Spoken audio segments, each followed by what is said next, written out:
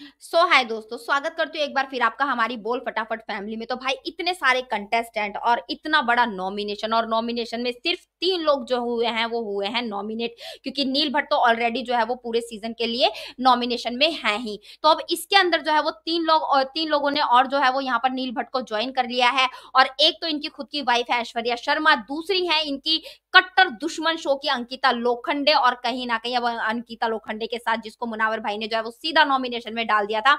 This is जो है वो अनुराग डोभाल। अब यहाँ पर कहीं ना कहीं मुझे ऐसा लगता है कि अनुराग डोभाल की जगह जो है वो विकी जैन होना चाहिए था तो फुल कपल्स वर्सेस कपल्स जो है वो हो जाता घर के अंदर भी और घर के बाहर भी। पर चलो कोई ना, विकी जैन ने कहीं ना कहीं जो है वो बच गया, किसी ने उसको नॉमिनेशन में नहीं डाला। तो अब ये चार लोग जो नॉमिनेशन में आए हैं तो इनके हिसाब से अगर मैं बात करूँ ओपनिंग वोटिंग ट्रेंड की तो ओपनिंग वोटिंग ट्रेंड में नील भट्ट हमेशा की तरह जब से नॉमिनेशन में आए हैं, वो बेचारे बॉटम में ही चल रहे हैं।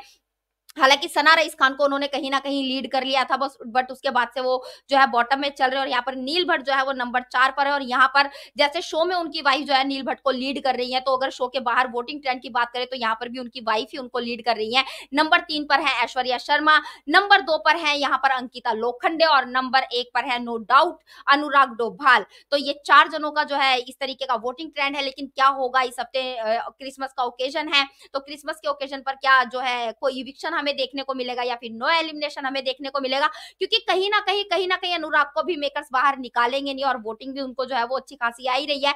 बात करें नील और ऐश्वर्या की तो अपनी तरफ़ से ये कहीं ना कहीं पूरी तरीके से जो है वो कंटेंट देने की कोशिश कर ही रहे हैं। तो क्या कुछ कहना चाहते हैं आप नॉमिनेशन के बारे में और इविक्शन के बारे में? प्लीज़ हमें हमारे कॉमेंट बॉक्स में कॉमेंट करके ज़रूर बताएँ और सारे लेटेस्ट अपडेट के लिए हमारे चैनल बोल फटाफट को सब्सक्राइब करें वीडियो को लाइक करें और ज़्यादा से ज़्यादा शेयर करें।